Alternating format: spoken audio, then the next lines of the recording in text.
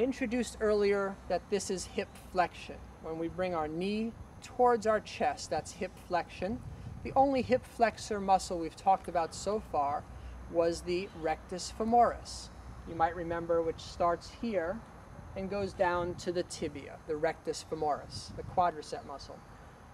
There are a few other hip flexor muscles, but the most powerful hip flexors of the body are known as the iliopsoas. These are two muscles that work together. They always work in tandem, really. Where are they?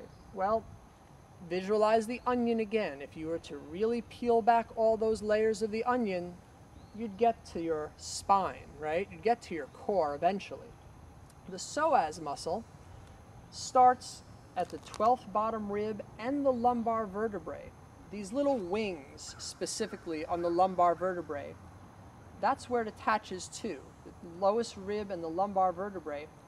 These wings of the lumbar, you can't really feel. They're called the transverse processes. Transverse process. That's a little different than what we're normal than we what we're familiar with. When we touch our spine, we actually are touching the spinous process. That's the, that's the back of our spine. But a little deeper in, we have the transverse process. They flare out to the side. And on both sides of your body, you have the psoas muscle, starting there, hooking on to many different points, not just one spot. Already this tells us that the psoas is fairly large and strong, hooking on to those four or five segments. the psoas then will go down the body, crossing right over our hip bowl. This is our whole hip bowl here, and the psoas will cross right by it, not even touching it exactly, and come into the lesser trochanter.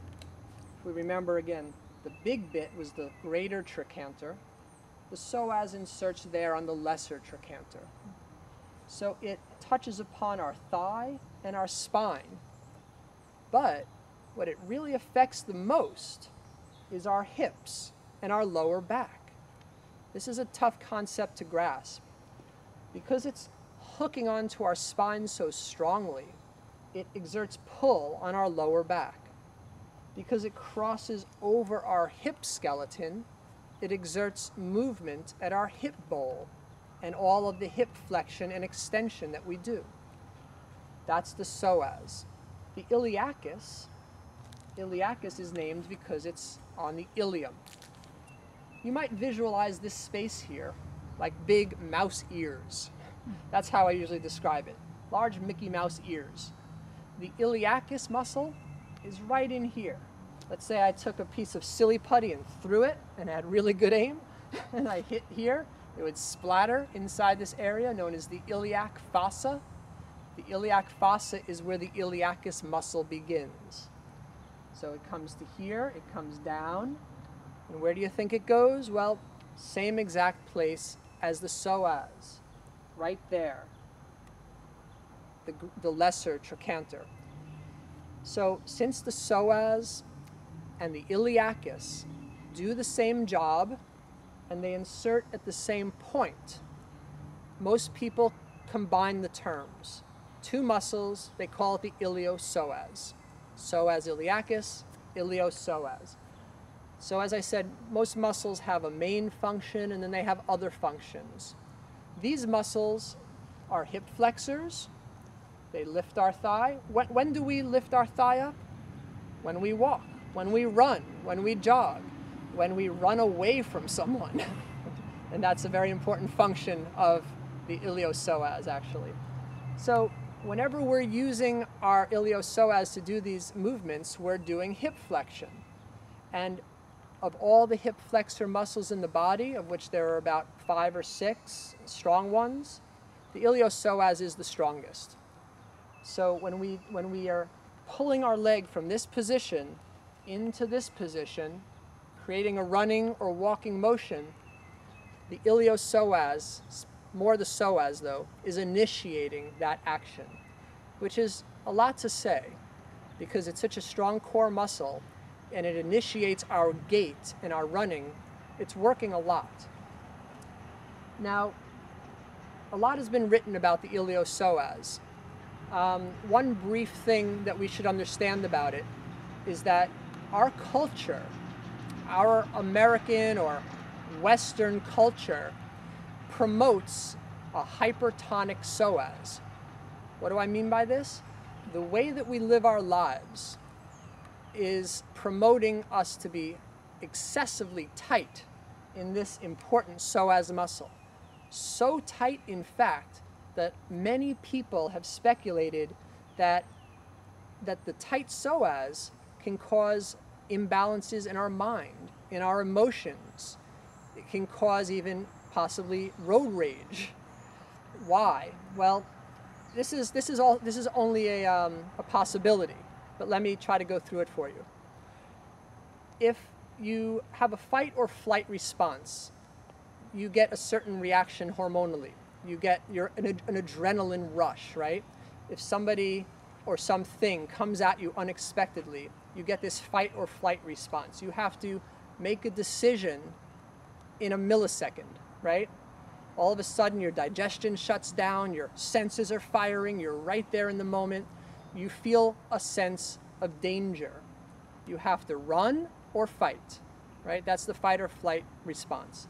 And a lot is happening in that millisecond in your body. Supposedly, the first muscle in your body that is innervated, innervation is the nerves firing up a muscle, the first muscle that gets innervated is your psoas, because without it you can't run, or you can't run well or fast. So if you're running away from a ferocious dog or a person, your psoas has got to work, and it has to work quickly. So if, if it's working, it means that it's contracting. So here's where the idea comes from. Let's say that we have a hypertonic psoas, meaning that it's always contracted. Visualize that for a second.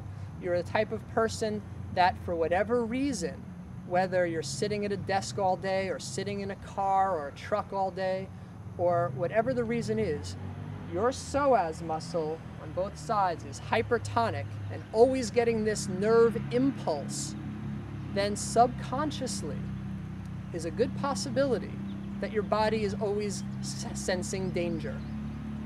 That makes sense? It's kind of turning the fight or flight response upside down. Instead of saying that we're sensing danger and then your psoas contracts, people are saying, well, your psoas is always contracted. And so your body is always feeling a sense of anxiety. And that's a pretty, um, a pretty sad fact of life for a lot of people. So how would this exhibit itself? Well, possibly people who sit a lot, such as drivers, people who are always driving in a car, they often do have hypertonic psoas. Why? Well, they sit like this and like this. They're bringing their spine towards their thigh. They're always, for maybe eight, ten hours a day, shortening their psoas muscle their psoas muscle gets used to being short. It doesn't want to lengthen. Have you ever taken a long, long drive? Even if you're flexible, taking a long drive and then you get out of the car and you you can hardly stand up. A lot of times that's because of the hip flexors and the iliopsoas not wanting to lengthen. And that's for people who do yoga. But imagine someone who never stretches and sits like that. Their psoas is hypertonic. Road rage can happen very quickly. They're already in a state of road rage to begin with.